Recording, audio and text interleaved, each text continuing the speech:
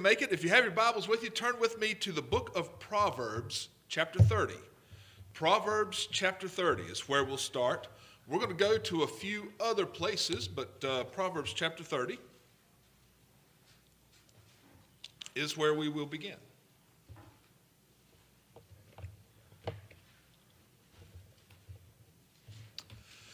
Proverbs chapter 30.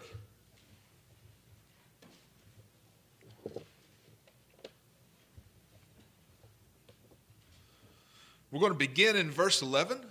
The Bible reads in Proverbs chapter 30, verse 11 There is a generation that curseth their father and doth not bless their mother.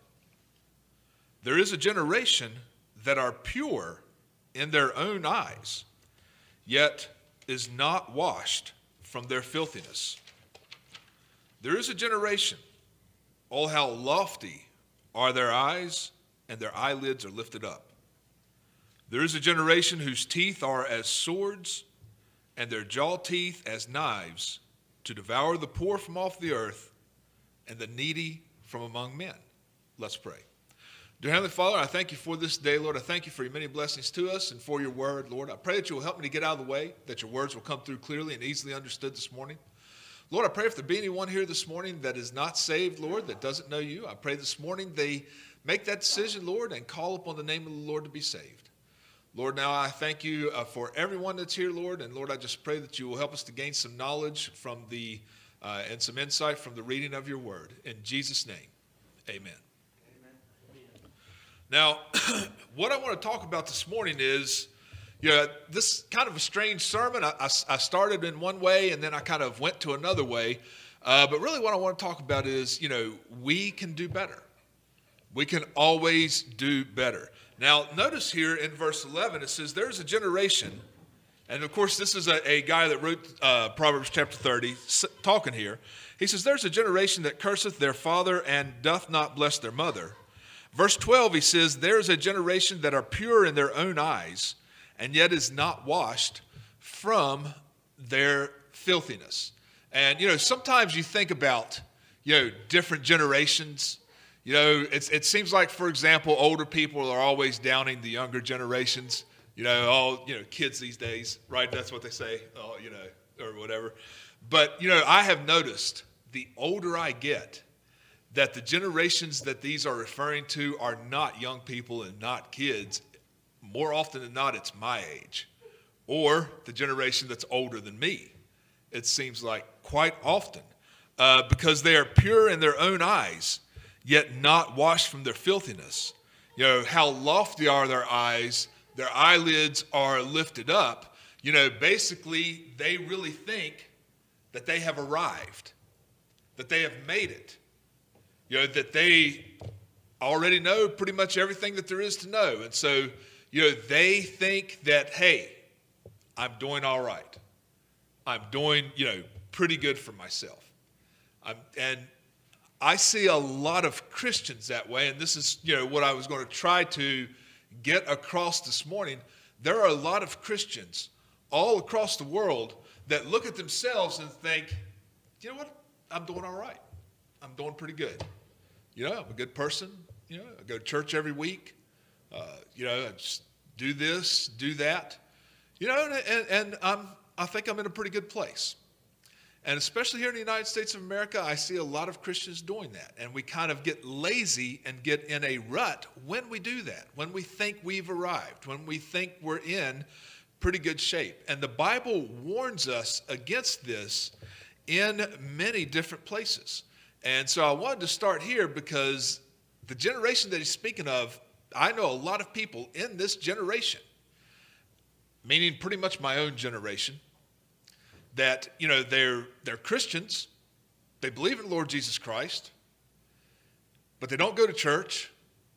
They just do the bare minimums that they think they need to do to be a Christian. And they look at themselves and they think, no, I'm doing all right. Yeah, I'm doing fine. I'm a pretty good Christian, is what so many of them think. And I look at them and I, I see something a little bit different. I see a lazy, slothful person that is not doing what God wants them to do and is not following the scriptures. You know? And there's a lot in there that we, you know, the goal, the, the purpose of the sermon, of course, is to make us understand no matter how old you are, no matter how many years you've been going to church, there is always a lot of room for improvement in each and every one of our lives. And we should never get to a point where we are like verse 12, where we say, will say that we are pure in our own eyes, yet not washed from filthiness. That we look at ourselves and we think, hey, I'm doing pretty good. I'm, you know, when we have all of the sin still that we need to get rid of. Now, go with me to the New Testament for a moment. Let's go to Romans chapter 12. Romans chapter 12. And let me just read you a, a, a, verse from Luke first. Luke chapter 16, verse 15. I'm just going to read you one verse that Jesus said. He said unto them, Ye are they which justify yourselves before men, but God knoweth your hearts. For that which is highly esteemed among men is an abomination in the sight of God. You know, we need to understand that God's ways are not our ways. You know, Jesus said that's those that are, are highly, you know, the things that are highly esteemed among men are oftentimes an abomination in God's sight. So go me to Romans chapter 12. You know, because the things that men value, the things that people value, the things that people look at, and they say, hey, this is a pretty good person. You know, this guy's right. You know, how much money they have, you know, what kind of car they, ha- they drive, what kind of house they have, you know, how they look, how they dress. You know, these are outward appearance things that we as human beings find important. And I tell you, they are not at all important to God. His ways are not our ways. And so, you know, sometimes I'll see a Christian who, you know, outwardly appears some way in order to be justified by men. And Jesus was speaking to you know, religious people who were hypocrites. You know, he says, but God knows your heart. And he says, understand that the things that you find important are not that important to God. Romans chapter 12, verse 1. Romans chapter 12, verse 1.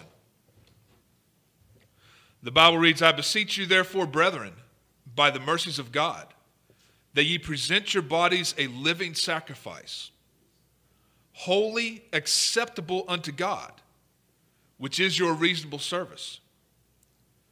And be not conformed to this world, but be ye transformed by the renewing of your mind, that ye may prove what is that good and acceptable and perfect will of God. And then notice verse 3 For I say, through the grace given unto me, to every man that is among you not to think of himself more highly than he ought to think, but to think soberly according as God hath dealt to every man the measure of faith.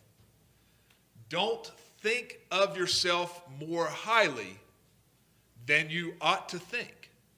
You know, we need the, you know, the, the key to growing as a Christian the key to getting better and better is to continue to stay humble. You know, and and this sermon, you know, Brother Barry's prayer at the start of the service fits right in with this. Because he did say, you know, you know, acknowledge, look, we're we're not worthy. We all fall short. And it doesn't matter if you're a regular church going person, or if you're a Christian who never comes to church, or you only come once in a while, or you do this or you or you don't do that, there you know, never get the big head. You know, and it is a weakness of human beings. We all have a tendency sometimes to look at something and say, hey, look what I just did. Yeah. I don't know if you have that trouble or not, but that's always been one of my biggest weaknesses. okay? You know, to stand back and say, hey, look at what I just accomplished.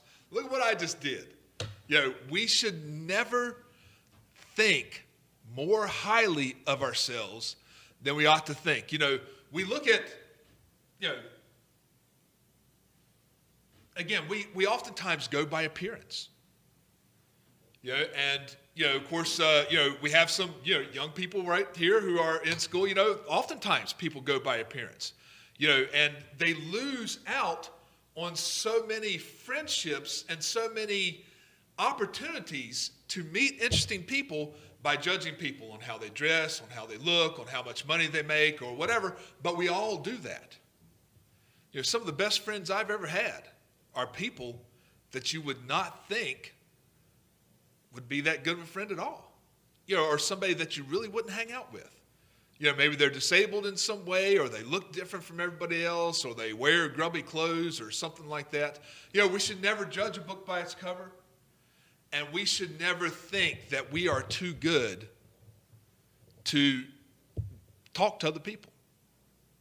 Never too good to associate with other people. You know, and this can oftentimes come into play in a church because you know oftentimes churches can have cliques. Now I, I, praise the lord that our church i don't believe it has any cliques. Uh, in other words we don't have the rich people sitting on one side.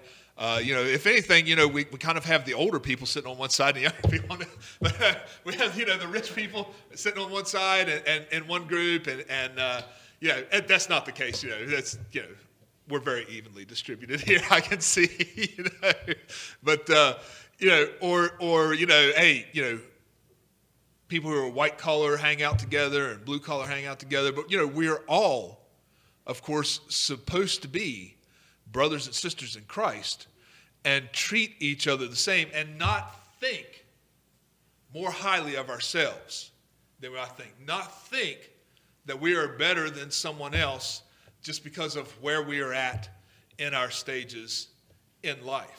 Now, Romans chapter 12 was written by Paul. Okay? Now, Paul wrote most of the New Testament. He is a very, very powerful writer.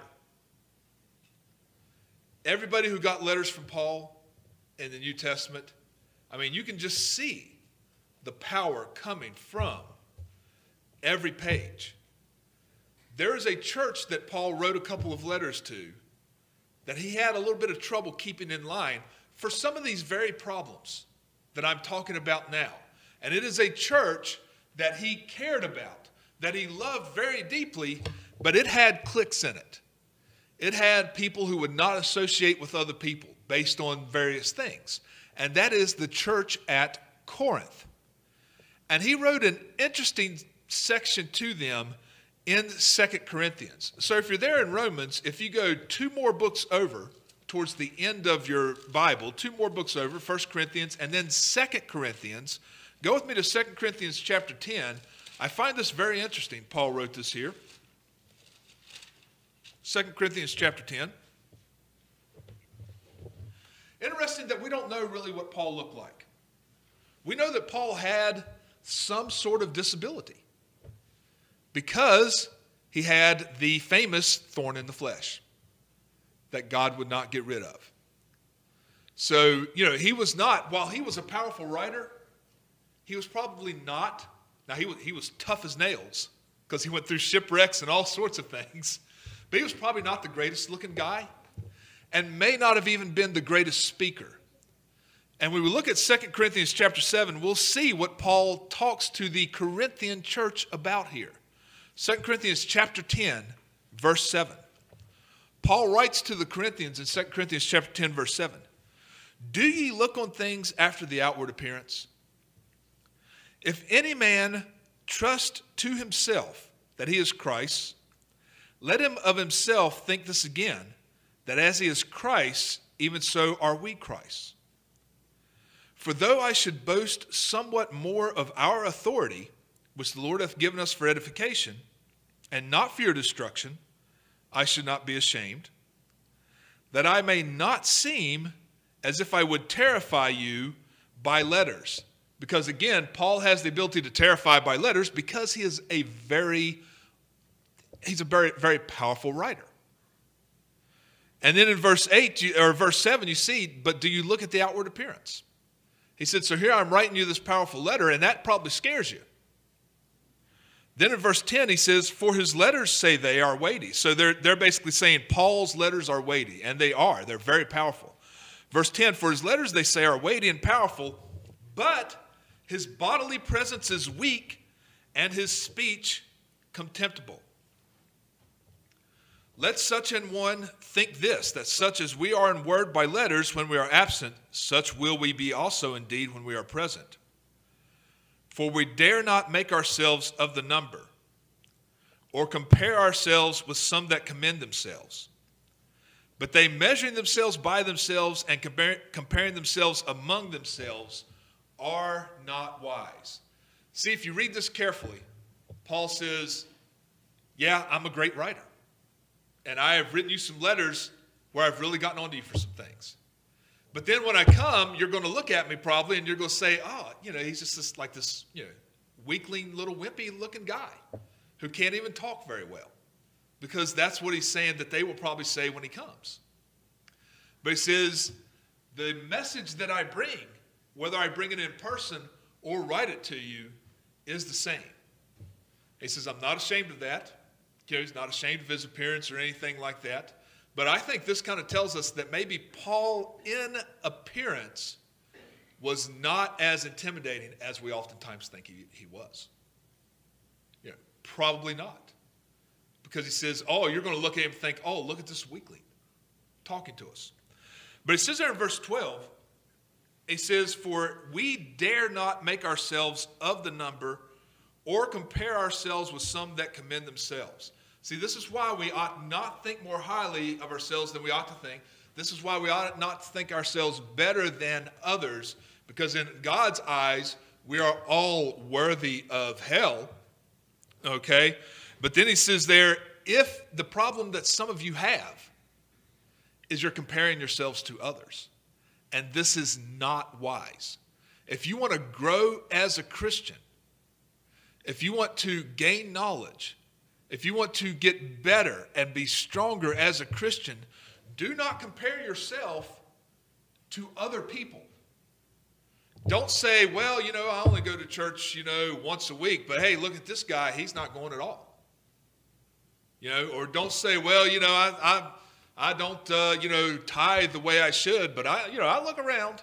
You know, and that guy, he never puts anything in the offering plate. So I'm doing better. See, that's not wise. We should not compare ourselves to other people. We compare ourselves to God. So many Christians today are just trying to do enough to get by.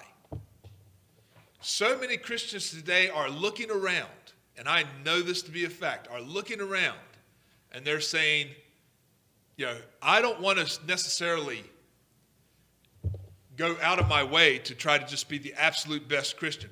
I just want to be better than that person. Yeah. And we do this in every walk of life. You know, I do this in my walk of life in some areas. Okay? For example, when it comes to mowing my yard, okay? When it comes to mowing my yard, I do not mow my yard when it gets to a certain height. I compare myself to others. What do I do? I watch my neighbor across the street. And if he lets his yard grow high, I'm going to let mine grow high as long as it doesn't look as bad as he, you know, or something. But when he mows his, that's when I mow mine. okay? Now, that's not really the right way to do it. You know, I should take care, better care of the yard. But I look at it and I'm like, yeah, it's a little bit scruffy, but his is scruffier. I'm all right. You know? And that's oftentimes the attitude that we have as Christians. We look at our, the way we go, we're like, yeah, I'm not doing quite everything that I should be doing, but he's not doing as good as me, so I'm all right. And that's not the way God looks at things. That's not the way God wants us to be. He does not want us to compare ourselves to others. Here's the way God sees people like that. Let's go all the way to the last book of the Bible, the book of Revelation, chapter 3. The book of Revelation, chapter 3.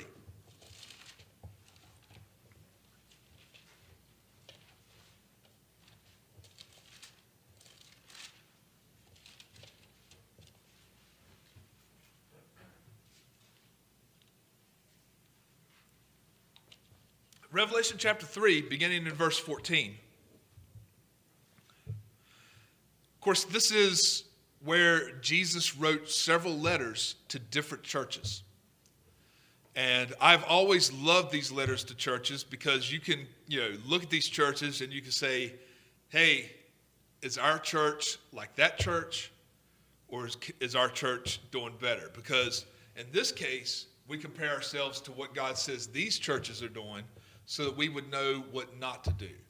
I look across the United States of America and I see, you know, the vast majority of churches are like the Laodicean church because the vast majority of Christians are like this as well. Revelation chapter 3, verse 14. And the angel of the church of Laodicea write, These things saith the Amen the faithful and true witness, the beginning of the creation of God. I know thy works, that thou art neither cold nor hot. I would thou wert cold or hot. So then, because thou art lukewarm and neither cold nor hot, I will spew thee out of my mouth. So God looks at a person that's like, you know what, I'm not bad. I'm not, I'm not the greatest, but I'm not too bad either. God looks at that as worse than being one way or the other. He says there in verse 17, Because thou sayest, I am rich and increased with goods and have need of nothing, and knowest not that thou art wretched and miserable and poor and blind and naked. We have a church here who is, the church is comfortable. Everything's going pretty well. And so they say, you know what? We're rich, we're increased of goods, we don't need anything. Now, they may be rich and they may be increased with goods. But that is not what's, you know, they're looking at carnal things and we need to be looking at spiritual things. Because I look at our church and I consider our church to be a very blessed church when it comes to physical things. Compared to most churches out there, despite the fact that we are a small church, we're in very good shape. Okay? We have a nice building with an air conditioner that works because I had to turn it on this morning. We have a nice fellowship hall over there. And the Lord has blessed us in that we don't have any payments on either one. Financially, and when it comes to physical building and that kind of thing, I, am pretty confident Gravel Hill Baptist is in good shape. We have need of nothing. But let's not get complacent and lazy when it comes to this. Even though we have a building that is solid, we know it's not going to go under. Okay? We have a pastor that, you know, tries to preach the right stuff and, you know, he doesn't care about his salary. I mean, that's, that's a good thing, you know? And so, you know, we, we are able to meet our bills every month. And so it would be easy for us to fall into the trap of the Laodiceans and say, hey, we're doing good. We have need of nothing. But when we get that attitude, when we start to think that, that's when we should open our eyes and say, hey, we can always improve when it comes to spiritual things. We can always increase our growth spiritually, which is what we always need to do. We need to recognize that God does not care about this building, not nearly as much as we do, right? Because his ways are not our ways. You know? He doesn't care about the financial state necessarily of Gravel Hill Baptist Church. He wants us to make sure we're in good standing, but he, that's not his big thing. What he wants to know is are you growing spiritually? Are you getting better and better as a Christian the more mature of a Christian you get? And this is found all throughout the Bible. You know, Paul gets on to people all the time. He's like, man, I would really like to talk to you about the weightier matters, about things other than just salvation and baptism and things like that that you should already know. But I have to keep coming back to this stuff because you're babes and you can't handle the meat of the word. You know, so he's all the time telling you've got to improve, you've got to grow, you've got to increase, you've got to always do better. And when you get to a point, you know, that mean we are a church bluntly, honestly, that can be very easily in danger of becoming a Laodicean church because we don't have a lot of persecution here. And we don't have a lot of stresses financially and things like that. And those kinds of things will naturally make us a little bit complacent. But we need to understand that every single day that passes is a day that we get closer, not only to the end of the earth, but to the end of other people's lives around us who need to hear the gospel and who need to hear the good news of salvation because we're not promised tomorrow. And so we need to constantly remind ourselves hey, I need to get better. I need to be able to talk to people about spiritual things. I need to be able to share the gospel of Jesus Christ with people accurately because so many Christians are not able to do that. I know Christians my age who have been saved for 20 or 30 years who cannot present the gospel clearly because they've just never taken the time to figure it out. They are like 20 and 30 year old babies when it comes to spirituality. And this is not good. We have to always remind ourselves that we are nothing, that we need to improve in every aspect of our spiritual life. We need to look at it all. We need to give ourselves an honest assessment. Are we reading the Bible as much as we can? Are we praying as much as we can? Are we going to church as much as we can? Are we witnessing as much as we can? I can pretty much guarantee you that the answer to all of those questions for every single person in here honestly is no we can do better. It should be our goal. Go with me to Philippians chapter 3. Philippians chapter 3, and we'll close with this.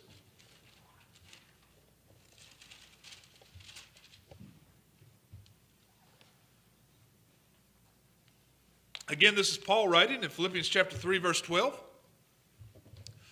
Paul says in Philippians chapter 3, verse 12, Not as though I had already attained Either were already perfect, but I follow after, if that I may apprehend that for which also I am apprehended of Christ Jesus.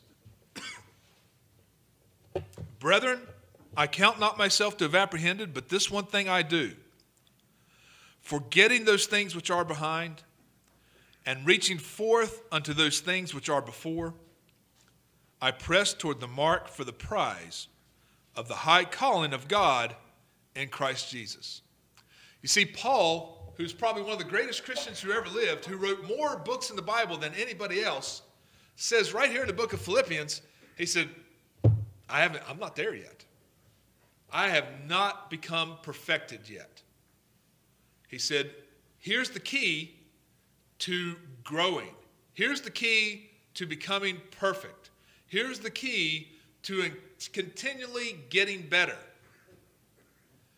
Putting, you know, forgetting the past. Putting away those things which are behind. They're the past. We can't change them. when you dwell on something in the past, you have a hard time moving forward. You know, when you dwell on, you know, a bad test score or a fight with someone or something like that, and you just can't, you just can't get by. You, you got to put it to, to the past. It's in the past, and determine to do better now. You know, one of those weights that keeps people from running the race of Christianity well is a guilty conscience. One of those weights is, hey, you know, I might as well, well, you know, I, I, I messed up last night and I went to a bar and got drunk. Might as well not go to church anymore. Now look, you should not have went to a bar and got drunk. But if you did, it's in the past. You need to get back in church. I've known a lot of people this way. You know, they, they, they start to backslide, they start to fall into sin, and they're like, well, I can't go back to church until I get my life straightened out. That's wrong. You know, when you're backslidden, that's when you need church more. You know, you need encouragement. You need, you know, the pastor to, to you know, tell you, hey, just like I'm telling you today, you know, forget about that and move forward because we've all sinned. We've all fallen short. You know, the sermon this morning has been about, hey, don't think you're better than you are. Look, if, you know, because a lot of people don't really realize this, but, you know, if Noah, Noah of the ark, you know, this man of God who found grace in the eyes of the Lord, as soon as he hit dry land, he got drunk. so, because he'd been in the ship for 40 days and 40 nights, I guess. But yeah, he, he planted a vineyard, made some wine, and got drunk. If Noah can fall, we can as well. You know, David, you know, we talked about this this past Wednesday night. You know, if David can make mistakes, then so can we. We've got to put those in the past and continue to press towards the mark. You know, you may say, well, you know, yeah, I mean, I, I you know, I come, you know, use church as an example. I come to church on Sunday mornings. Yeah, I, I mean, I'm, I could come on Sunday nights. I could come on Wednesdays. I'm just, I just, I'm having trouble getting there. You got to put the guilt behind you and just make the effort to do it. And that will increase your spirituality, I have no doubt, because faith cometh by hearing, and hearing by the word of God. And so if you want to increase your faith and strengthen your faith, listen to more preaching. Because that's it's right there. And so, you know, there's these these kinds of things, you know, we always want to try to do, but don't beat yourself up if you messed up. You know, you just got to put it behind you. That's what Paul says. All the things that are in the past. Because Paul was certainly one that could have beaten himself up. Because before he became a Christian, he was throwing Christians in jail. He could have had that conversion on the road to Damascus, and he could have been like, you know what? Nobody's going to listen to me. You know, I mean, I'm I'm weak looking in body and this and that, you know, and and uh, but no, he put the past in the past and worked forward, and that's what we need to do as Christians. And we should never get to a point to where we become like the Laodicean church, whether whether as a church or even spiritually as individuals and we should never think more of ourselves than we, you know, than we ought to think. And we should never think, hey, I'm pretty good, because there's a lot of sin in our lives that God looks at and says, that's an abomination. That's no good. You know, so humility and just striving each and every day. That's what we want to do. Let's pray. Dear Father, I thank you for this day. I thank you for your many blessings to us and for your word and for the encouragement that it has. Lord, this, this sermon this morning, Lord, it will step on our toes and encourage us at the same time. And Lord, that's what we need. Lord, help us not to think that we're better than others, maybe because we make more money or because we are, you know, look better or just whatever, Lord. But help us to realize that we are in the same boat as everyone else. Lord, the pastor of this church is no better than, you know, just anybody else here just because they're the pastor or anything like that. Uh, Lord, so help us to understand that and help us to increase our faith to increase our ability to witness to others and to grow spiritually and never get complacent to where we think, you know what, this is good enough. So I pray that you will help us to do that, Lord, each and every day. In Jesus' name, amen.